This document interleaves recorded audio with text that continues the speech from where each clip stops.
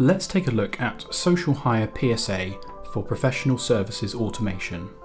With SocialHire PSA, you can track engagements at your accounts. With each engagement, you can track resource or consultant assigned to the project, track project risks, enter and track time cards and expenses. When you assign a resource or consultant to a project, you can enter how long the resource is allocated to the project, the total budgeted hours for the resource, and weekly allocation. Let's take a look at how you would enter time cards. You can click Submit Time Card and then select the work week. Enter the hours for the project and you can save and submit the time card for approval.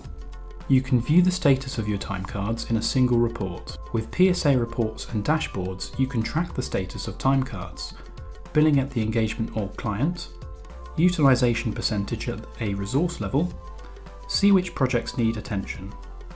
SocialHire PSA is tied into SocialHire Recruit, using which you can kick off recruitment process. Contact us at info at socialhire.io or visit socialhire.io for more information.